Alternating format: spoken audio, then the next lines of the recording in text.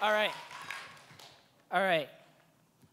Hello, my name is Thomas Payton. I'm a senior from Westside High School.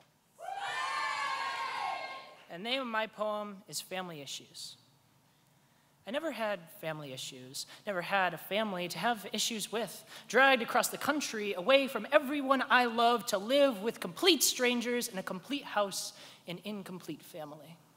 The name of my mother lost to time, my father, figure of my imagination, seen only in dreams behind a curtain of smoke. And these people I call family run me round and round the mulberry bush, keeping me searching for who my family really is.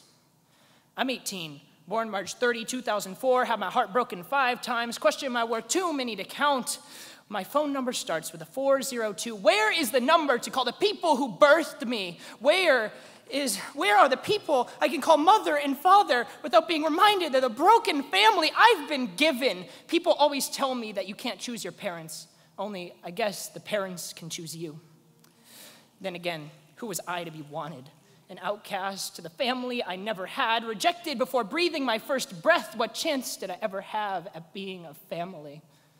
Suddenly, filling out the parental guardian form becomes a lot more confusing. Name a father, unknown. Name a mother, unknown. First name known, last name unknown. I am a ghost child, passed through the world unnoticed. People ask me why I don't know my family like they would comprehend the concept of never even seeing them. How dare I be held to the standards of strangers? How dare I rely on people I don't know to feed me, bathe me, grow me into who I am today?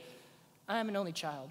Yet I have countless siblings unnamed, unwanted by the people they call family. I am the inheritor of loneliness. I own the keys to the house of the forgotten, to the house of the unwanted. I am the landlord that comes to collect the souls of the disowned. But how would I know if I found my family? I've never felt the warmth of family. Only the cold, wet, slobbery sucks of a petri dish. Family on one side, me on the other. Let's see which disease grows faster. Only the gap grows faster, being dragged further apart by the disease of separation. How am I supposed to find the fish of family in the ocean of doppelgangers? If we were all cells, you would.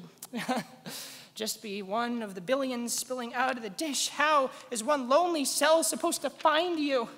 And uh, I know you won't answer me because you don't want me. You've never seen me. You've never seen this face on the stage, never heard this voice, never heard these words, never seen these eyes sparkle under the stage, or under the stage lights, surrounded by the family I call poets, in the house I call poetry. We are family. And you are not a part of me, not a part of my story, just some nobody tied to me by the blood I've bled. No, you are not my family because this is my family.